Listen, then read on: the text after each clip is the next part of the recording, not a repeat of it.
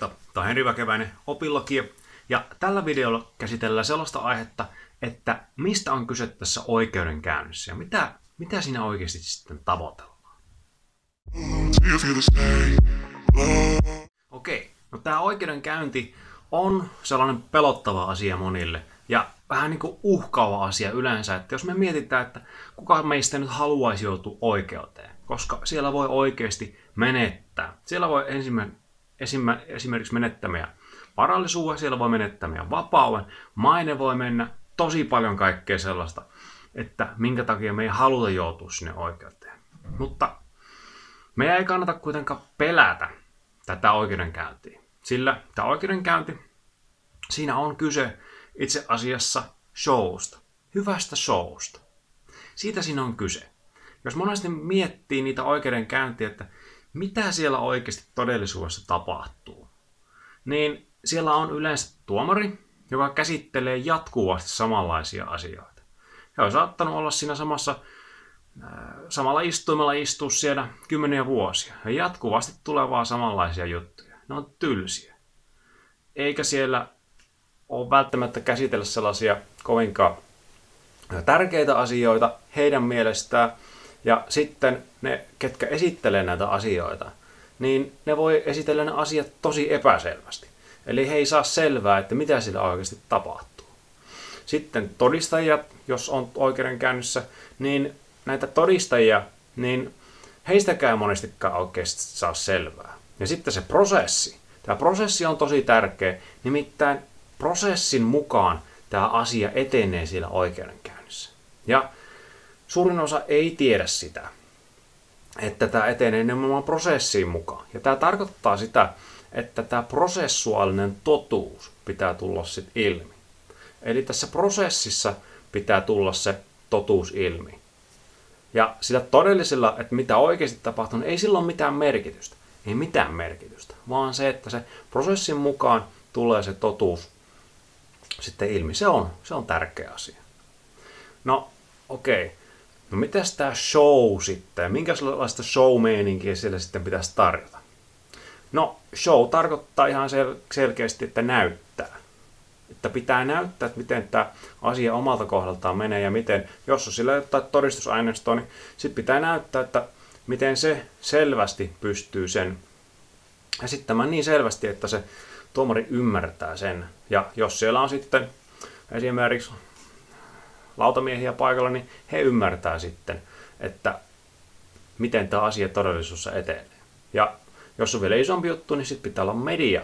Mediallekin pitää selittää se.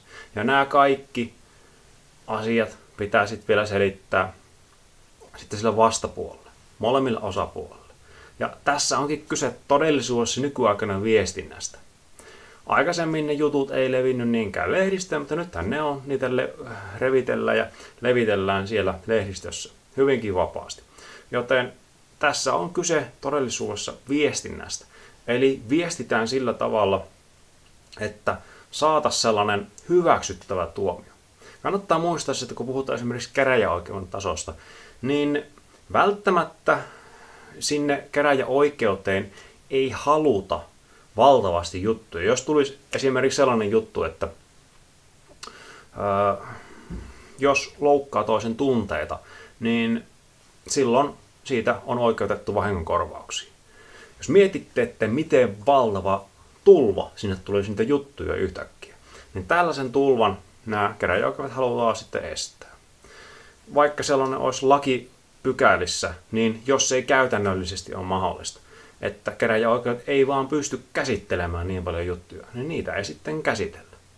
Ja sitten on tämmöinen tulva vaara on myös sitten sellaisissa muissakin asioissa, mitkä saattaa aiheuttaa esimerkiksi juttuja pitäisi käsitellä uudestaan. Eli heillä on työmäärästä. Tämä on käytännöllinen asia. Työmäärä. He ei halua lisätä sitä heidän työmäärää, koska se ei välttämättä sitten johda parempiin lopputuloksiin. Ja niiden juttujen laillisuus saattaa sitten vaarantua siinä, jos tehokkuutta lisätään. Jos meidän pitää vaan kovemmalla vauhdilla tehdä enemmän juttuja niin, tai saada ratkaisuja, niin se sitten aiheuttaa sen, että niiden juttujen, yleensä ratkaisujen tällainen laajopillinen oikeudellinen taso alkaa sitten tippumaan ja se ei ole hyvä juttu.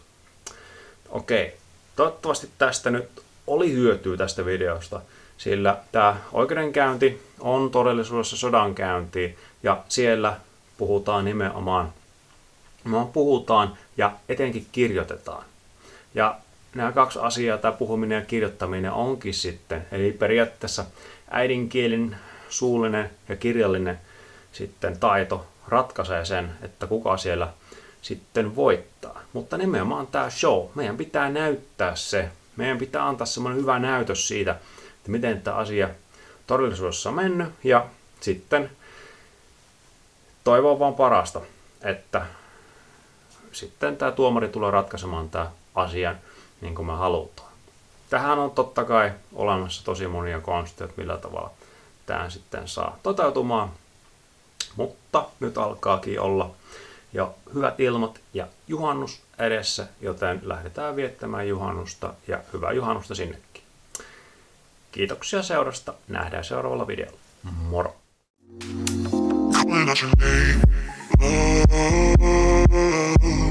The same? Love.